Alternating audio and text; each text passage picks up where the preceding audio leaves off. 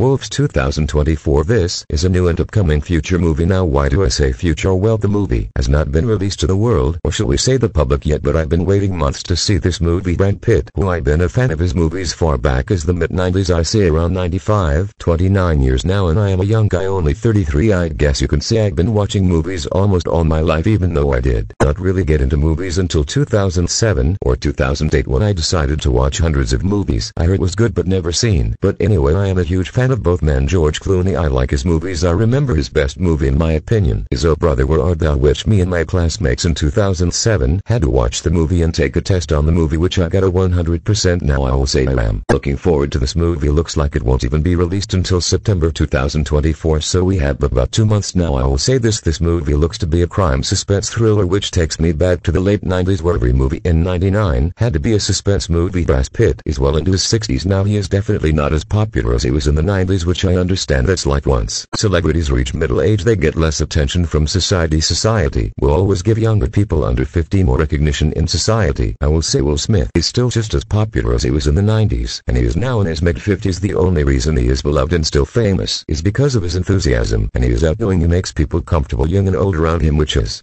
something you rarely see with middle-aged celebrities. I will say this Brad Pitt in the 90s was the most popular man in Hollywood. He was young fresh in his 30s and women lost their minds over him in the 90s early 2000s. He had something women wanted in a man good looks and personality. Brad Pitt is an introvert and quiet, but women will not care if they find a man attractive he can be mute and still have women chasing him now I am looking forward to Wolves. I will go out to watch it.